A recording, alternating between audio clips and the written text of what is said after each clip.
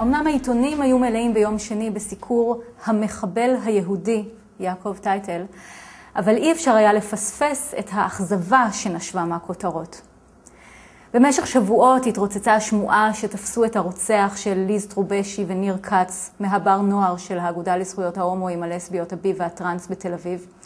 ובסוף כל מה שהצליחו למצוא הוא את מי שהניח לבנת חבלה לזאב שטרנהל ולמשפחה של יהודים משיחיים באריאל. אה כן, והרג שני פלסטינים. אבי יששכרוף מהארץ כתב את זה יפה. הטעות הגדולה של טייטל הייתה שהוא החליט לפגוע גם בלא ערבים. הריטואל התקשורתי היה ידוע מראש. מצד אחד, הטרוריסט שבא מהערוגות המטפחות של ההתנחלויות בפייסבוק, זה רץ כשאלה בנושא גינון, גדלים לי פה המון עשבים שוטים, אבל רק בצד ימין של הגינה. מישהו יודע למה? ומצד ימין ההתקפה על השמאל המתקיף את כל המתנחלים במקום את היחיד, החריג והמגונה. כהמשך ישיר לפסטיבל רצח רבין שממילא מתקיים השבוע. הסיבה היחידה שטייטל קיבל כותרות ענק היא שבמשך שבועות חשבו העיתונאים שהוא אחראי לרצח בבר נוער. אם לא היה מניח את לבנת החבלה לשטרנהל, ספק אם היה מגיע לעמוד הראשון של העיתון. אבל אם לא היה טייטל מניח את לבנת החבלה לשטרנהל ותולה מודעות שטנה כנגד הקהילה הגאה, סביר להניח שהוא לא היה מגיע לשום עמוד בעיתון, פשוט כי אף אחד לא היה תופס אותו. הכותרות דיברו על מחבל יהודי, וכותרת כידוע אמורה להצביע על דבר מה חדש, חדשני או לפחות נדיר. אבל האמת היא שפגיעה של יהודים בערבים היא עניין של יום-יום. הסיבה היחידה שבעיתונים ניתן היה להציג את השאלה אם מדובר באדם אחד או בקהילה שלמה, היא שהתקשורת הישראלית לא מסקרת את האלימות היומיומית של מתנחלים כלפי פלסטינים. אף אחד לא היה מתרגש מתפיסתו של מי שרצח רק שני פלסטינים, כי אף אחד לא זוכר את שני הפלסטינים האלה.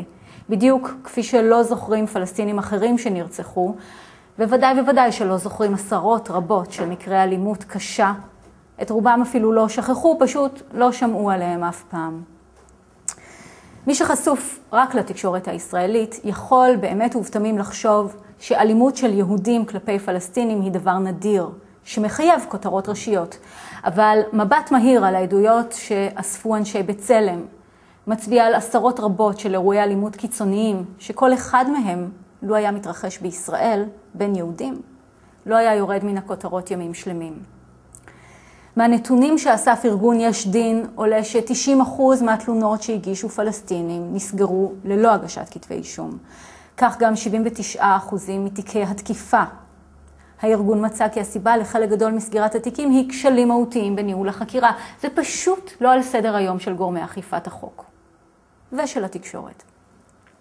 ונשאלת השאלה, מה קודם למה? האם העובדה שהציבור הישראלי לא רוצה לדעת מה קורה בשטחים גורמת לתקשורת לא לסקר ולרשויות הביטחון לא לחקור? או אולי רשויות הביטחון לא חוקרות ולכן התקשורת מסיקה שאין מה לסקר והציבור לא מתעניין במה שהוא לא יודע? ואולי אם התקשורת תסקר יהיה עניין ציבורי וגם רשויות הביטחון ייאלצו לעשות את עבודתן? לא בטוח. מה שכן בטוח הוא שאם היחידים שמפרסמים מה קורה בשטחים הם גדעון לוי ואמירה האס, שמביאים לנו בעקשנות דווקנית את עוולות המתנחלים וצה"ל כלפי הפלסטינים שוב ושוב, שבוע אחר שבוע, שנה אחר שנה, זה לא משנה את השיח הציבורי, אלא רק מזהה אותם כשוליים פוליטיים קיצוניים. כי העובדות לא רלוונטיות. הקונצנזוס התקשורתי משרת את הנרטיב הבסיסי. הערבים הם האלימים ואנחנו בסדר. כך זה היה וכך זה עכשיו, מאז ולתמיד. לא צריך לבלבל אותנו עם יותר מדי עובדות שממילא לא מעניינות אף אחד. ומחבל יהודי זו כותרת נהדרת. ואם אפשר להפיל עליו את כל פשעי השנאה בתולדות ישראל, אפילו יותר טוב. ארלוזורוב, כבר אמרנו?